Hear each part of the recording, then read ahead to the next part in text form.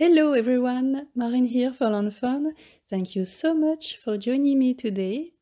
I am back with my last Lawn Fawn video of the year and we're going to celebrate 2023 a little bit early with some cute kitties, balloons and champagne. So those kitties are from Purrfectly Wicked and the add-on. I'm going to use this blanket from Crazy Antics to create a dance floor we have the glass of champagne from Happy Wedding, a hat and the party blowers from Party Animal, one more cat from Meow You Doing, the balloons from Bicycle Built for You, the banner from Virtual Friends add-on, the Happy New Year greeting from Winter Wavy Sayings. I'm going to use the largest stitched rectangle stackable die, the snowy backdrop, the simple stripes diagonal backdrop, the smallest simple wavy banner die, the long stripe die from Picket Fence, and the Cheers scripty word. So let's start with the coloring. I stamped my cute images using Lawn Fawn Jet Black ink. As always, I used the coordinating dies to cut them all. And I'm going to use my alcohol markers to color everything and today's color palette is gold, gray and black.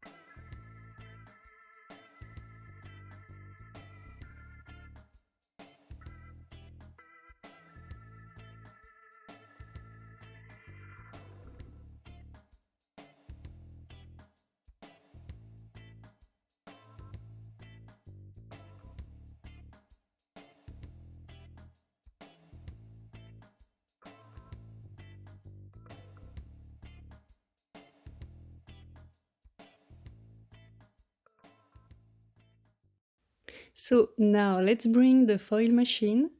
I cut a piece of black licorice cardstock, as well as some gold foil, and I'm going to use the snowy backdrop to add foil details to my background.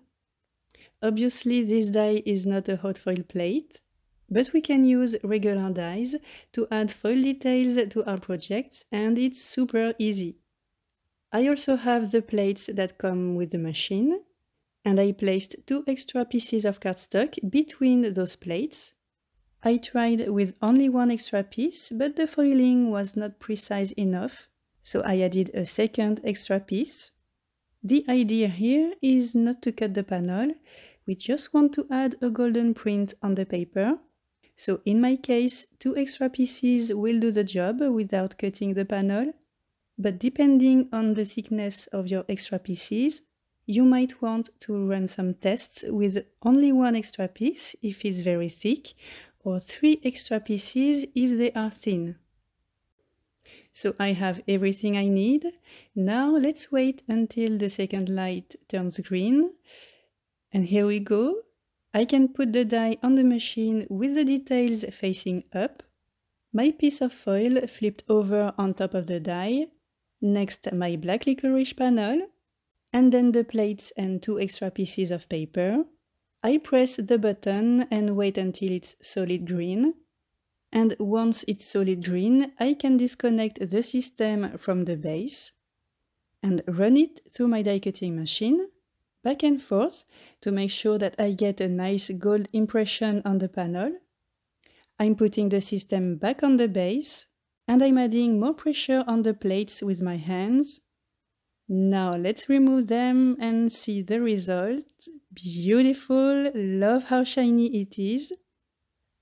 But foiling doesn't always turn out perfect, especially if you use dies that are not supposed to be foiled, so you might end up with extra foil at some places.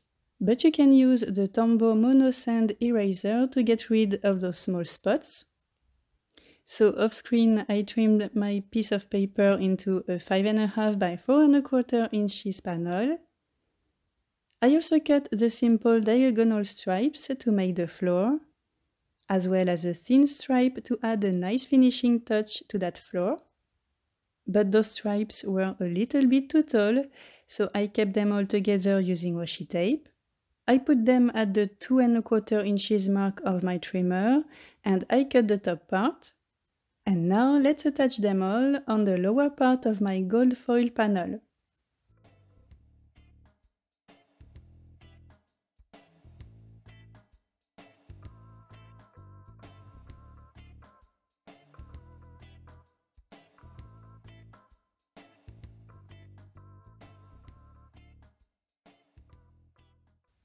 Now, before assembling everything, I'm going to stamp the second part of my greeting on a wavy banner. And to stamp it more easily, I kept the banner into its original spot using washi tape. I'm adding powder to make the paper anti-static. This way, the embossing powder will stick to the ink only. Now I can stamp my greeting using Lawn Fawn clear embossing ink Next, some gold embossing powder on top of the ink. And finally, I am melting the powder using my heat tool. And when I heat emboss a greeting or an image, I always heat the paper at the back first. And then I do it on the front. I find that it gives a prettier result doing this way. And now it's time to assemble everything on the panel. Let's create our fun and festive little scene. I die cut the word cheers out of gold glitter cardstock and I layered it on vellum. And I'm using 2mm black foam squares mostly, as well as glue dots and liquid glue at some places.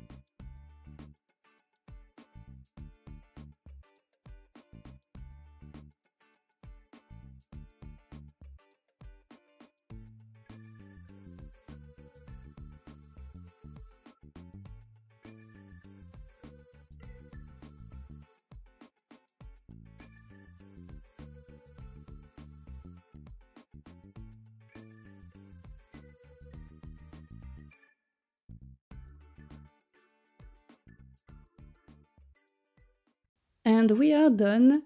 I added highlights on the images as well as dots on the balloons and banners. And now, if we listen closely, I think we can hear Happy New Year wishes while the glasses of champagne knock together, the party blowers make strident noise, and the music play, maybe celebration by Kool and the Gang. Well, thank you so much for stopping by. Have a very nice day and see you next time. Bye.